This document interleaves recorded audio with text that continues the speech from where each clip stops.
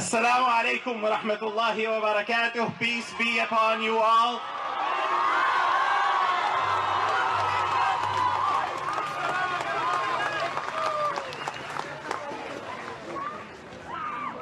On behalf of the Council of Imams, on behalf of faith leaders of the Muslim community, share with you this message that Black Lives Matter.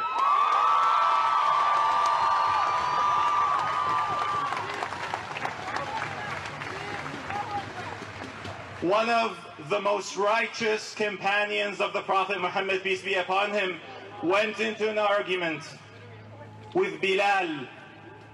May Allah be pleased with Bilal, one of the most righteous, one of the most strongest black Muslim activists who stood up for the truth. That word, I can't breathe. We heard it in our Islamic literature. He is the first to be choked and to say these words because of his skin, because of his faith, because of his background. We reject oppression in all forms.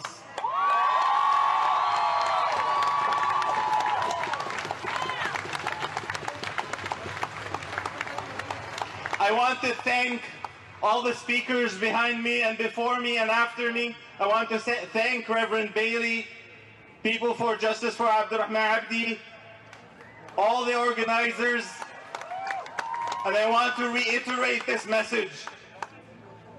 As a non-black person, this I know it gets uncomfortable first.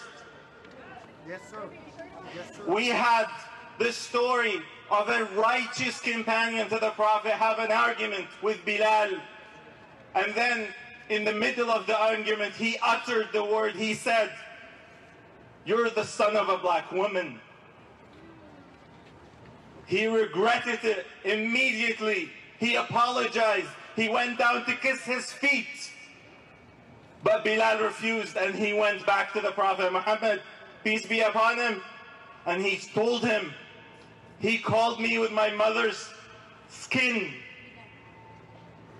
And the Prophet Muhammad brought Abu Dhar, one of the most righteous people. The point is, it doesn't matter if you didn't have the intention to be racist. It does not matter if you did not mean to be racist.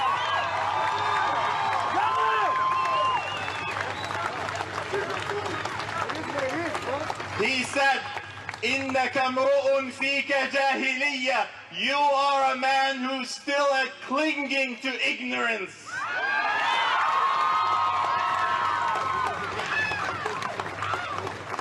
In the farewell speech, the Prophet Muhammad, peace be upon him, said, O mankind, your Father is one, your God is one. no white man is better than a black man. No black man is better than a white man. No Arab is better than non-Arab. No non-Arab is better than the Arab. The most noble are the most righteous. The most noble in the sight of God are those who are the most righteous. This is a message we have to talk about it. We don't we don't just think about it, we have to tell others. Sometimes standing up for this truth hurts, but we have to stand up for it.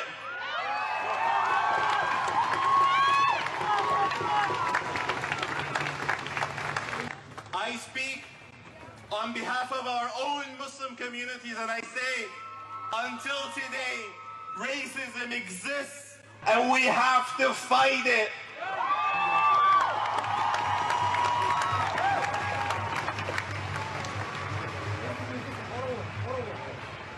When it comes to times like these, we don't stop at the family of Floyd. We don't stop at a single incident. We're not gonna stop. There, every day there is another Floyd. Whether they're black, aboriginal, Muslim, Jewish, whatever it is, we must stand together against all oppression.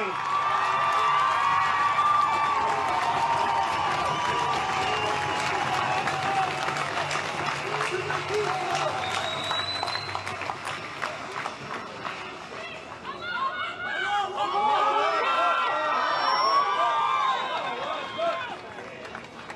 of the final verses that were revealed in the Quran and the farewell statement of the Prophet Muhammad, peace be upon him, in the last year. I will say it and I would appreciate if you hold your applause. أعوذ بالله من الشيطان الرجيم يا